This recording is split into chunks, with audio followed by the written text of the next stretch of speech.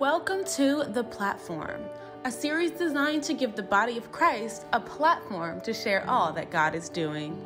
Revelations 12:11 says, "And they overcame him by the blood of the lamb and by the word of their testimony." It started in 2018. Um, we had um, at that time, it was time for our eight-year anniversary. Uh, we had a conversation with Bishop and um, to actually bless our um, marriage. And at that time, um, he asked us uh, where were we uh, where were we living, and we told him an apartment. Um, so that pretty much started the journey as far as the whole home wanting to purchase a home process. A process that started on their eighth wedding anniversary. The Halls used this milestone as motivation to become homeowners, and our bishop was eager to coach them through this transition. From that moment, we uh, got connected with our realtor, we got connected with our lender.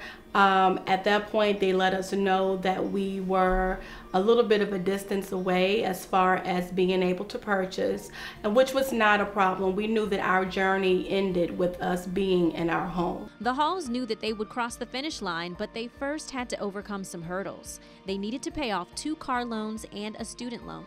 The student loans was the issue. Uh, one of my student loans had um, some bad issues going on with it. Uh, some things I've done in the past didn't take care of the right way.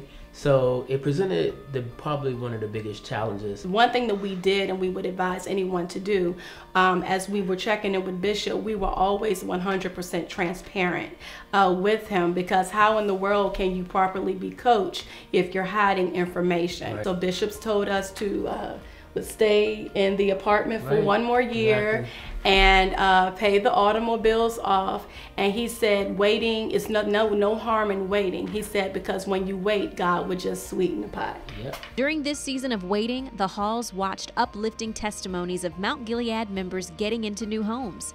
They remained positive, even though the first three contracts they put on homes were all denied. Finally, they received the call they had been waiting for our realtor uh, gave us a call um, and she was actually inside of what is our home now. And so she mm-hmm. was giving um, us, us, a tour of the home, and um, I just could not believe just how ma- immaculate and beautiful and new that it was. Uh, probably not even an hour after she submitted the offer, uh, we got word that we had a ratified agreement, which meant that they had accepted the offer. And so we were under contract. It's a custom built home built in 2019. One owner for not even a lot of time in the home, maybe less than a year. Um, a lot of custom features, uh, granite countertops, uh, pretty much a custom-made kitchen, which is great for me. It's just it's amazing that uh, counter, um, the cabinets are the same and throughout the whole house, and it's just it's it's immaculate. It's an immaculate home. The uh, backsplash uh, goes uh, adorns the kitchen. Right. As you can see, uh, just upgrades as far as the craftsman doors, the uh, recessed, lights the recessed lighting in the kitchen.